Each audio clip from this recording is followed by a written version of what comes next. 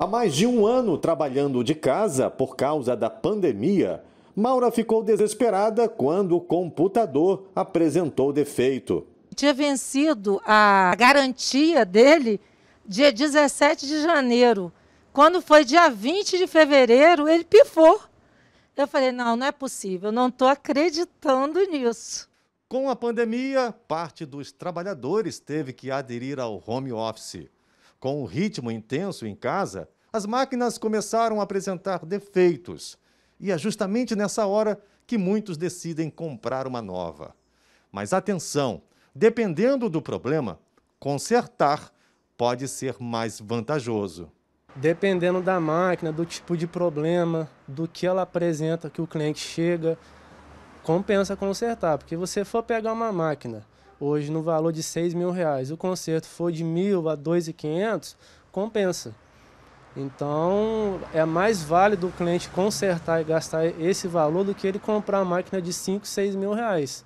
Ainda mais nessa crise de hoje. No caso da Maura, o investimento no conserto compensou.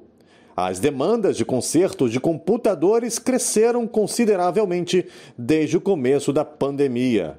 Aumentou significativamente. De abril até agora, mais ou menos os 80, 85% das pessoas estão preferindo, além de consertar, ainda melhorar ainda mais o desempenho da máquina, justamente para quem é professor, quem é aluno, quem trabalha embarcado, mas não pode embarcar e trabalha em home office.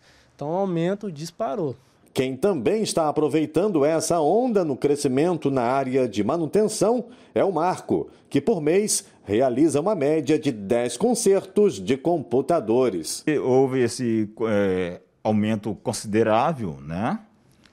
É, as pessoas procuraram desesperadamente, porque todo mundo tem um computador em casa, de repente um computador velho. Ah, eu quero recuperar aquele computador porque não tenho um dinheiro para comprar um novo. Então, lá vai o técnico, a função do, do, a função do técnico em tentar recuperar esse, o computador.